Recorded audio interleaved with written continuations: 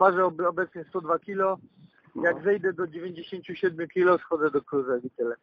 Jak zejdzie mi waga przy tym, myślę, że stoczę jeszcze dwie walki w ciężkiej i prawdopodobnie zejdę do cruiser. W tej wadze będę koniem, w tej wadze mógłbym być koniem, w tej wadze zawsze czułem się najlepiej, aczkolwiek tak jak mówię, to jest boks i wszystko się okaże, prawda? Moim marzeniem zawsze było zostanie mistrzem świata wszechwag.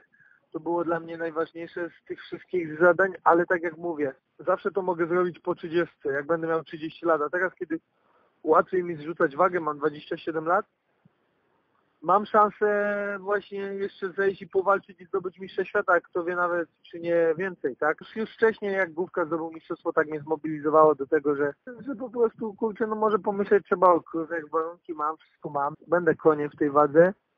Patrzę też po kolegach, którzy robią wagę, taki Jamal Charlo robi po 15 kg wagi, jest bestią w tej wadze.